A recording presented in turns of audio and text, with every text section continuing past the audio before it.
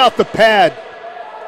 Looks like a penalty coming up for Motor City. Colton touches, and now Oh, no, Clouston. no. Oh, that's a that's a dumb move from Vaughn Clouston. Ben, there's no other way to put it. That was a sucker punch. Yeah, I saw that coming. That's why I said no. You don't do that. And now instead of two, that might be five. And rightfully so, Soucy is incensed. Ben, there, there's just no defending that. They're telling Motor City they're number one twice. And now Soucy, very upset, he might get sent off. And the linesmen have their work cut out for him. Yeah, try to get these two in the penalty box. Are, there's only 10 feet of space between them, and Soucy wants more.